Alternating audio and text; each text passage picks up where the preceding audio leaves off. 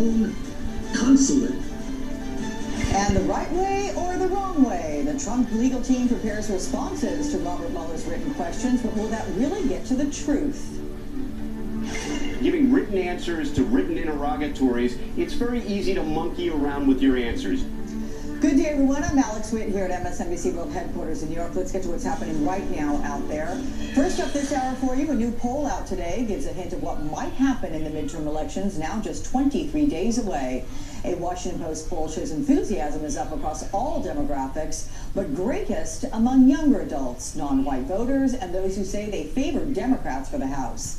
A separate poll, also out today, shows former Vice President Joe Biden by far the leader for the Democratic presidential nomination in 2020 among Democrats and Democratic-leaning independents. That's followed by Senator Bernie Sanders. And here's what the senator had to say about it just a short time ago. I say that we have three weeks to go in the most important midterm election in the history of this country.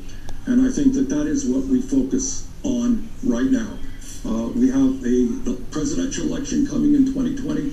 We will see what happens. But I think it is very wrong to deflect attention from the need to end one-party rule uh, in Washington right now.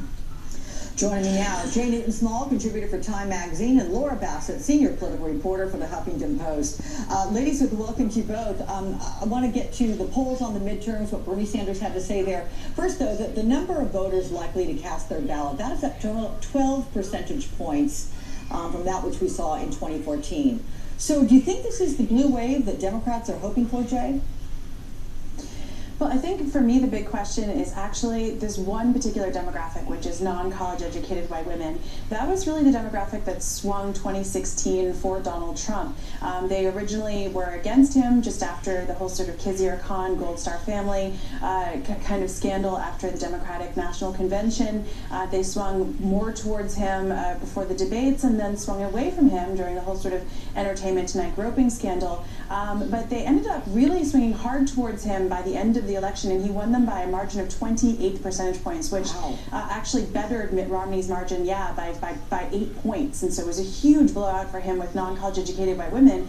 And the question is, with that demographic, um, if are they going to show up for Donald Trump, or are they going to show up for, or, and Republicans in this case, or are they going to show up for other candidates? Their their enthusiasm is up 12% since 2014, but I'm wondering now, like which way they're going to go, because in recent year, in recent months, they've been trending away from Donald Trump with the whole sort of uh, Stormy Daniels accusations and with Brett Kavanaugh's uh, confirmation, and so I think that's always been to me the key demographic in this election. That is extraordinary. Your chronicling of the, the extent to which they swung on, on all those different topics. Um, so, Laura, the Democrats are laying the ground for what they plan to do if they take back the House after the midterms. You have House Minority Leader Nancy Pelosi saying that demanding the president's tax returns, that is one of the first things that they would do.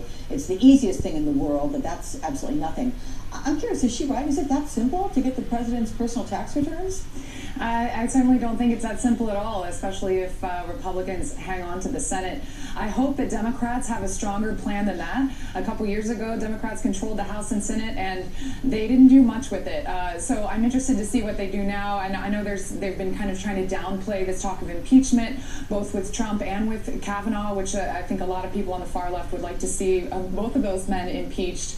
I don't know that it necessarily helps Democrats to start talking that way because people really want to see what kind of policies they're going to offer if they're in control of the House and potentially the Senate to help people to make education costs lower, to to fix the healthcare system. Um, so I, I, don't know that focusing on Trump's taxes is actually going to help them that much politically. I'm curious what you think on that uh, topic, Jay. How much that would buy the Democrats releasing Trump's package, uh, taxes? Rather, is there a way to gauge the impact? Because I'm just going to say anecdotally, I've spoken with a number of Republicans who cast their vote for Donald Trump, and they've said the reason they did is because he's an outstanding businessman. They felt that he was going to turn the economy around, uh, that he's a billionaire, et cetera, et cetera, et cetera. If the taxes reveal that he's not as much of an outstanding businessman to the degree that, you know, they voted for him, does that influence voters? Alex, I think that the real danger for the Republicans and for Donald Trump in Democrats taking either the House uh, or both the House and the Senate is this sense of investigation, whether it's his taxes, whether it's investigating Kavanaugh's accusers.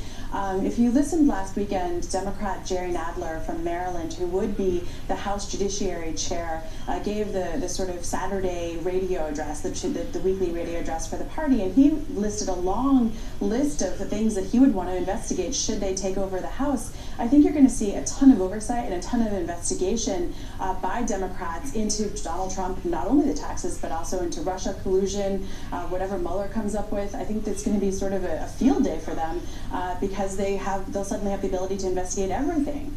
Um, in the race for the Democratic nomination to face Trump, you heard Bernie Sanders saying, look, don't want to focus on this right now because we should focus on, on what immediately lies ahead. He's in second place. Maybe that would be part of the reason why you wouldn't want to focus on it right now. But we have former Vice President Biden with a substantial lead. Do you think he, Laura, is the best chance for Democrats to win back the White House at this point?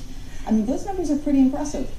They're impressive, Alex. I'm, I'm surprised by them. I, I don't think that it's a great idea for the Democrats to kind of re- revive this Biden thing. I think the same thing might happen with what happened with Hillary is that people are, are tired of seeing the same faces for years and years and years and they want to see some some fresh blood. They want to see some fresh ideas. The Democratic Party is moving a bit more left. Uh, I think it might be smarter to put up a, a progressive more in the style of, of Warren or Sanders um, to really excite the party. I don't know that Biden is going to do that. Okay, uh, Jay and Laura, please stay with me right now. I'm going to get back to you guys in just a moment because also new today we have new reaction from the Trump administration and the fallout of the Saudi journalist disappearance. Let's go right now to NBC White House correspondent Jeff Bennett, who's joined.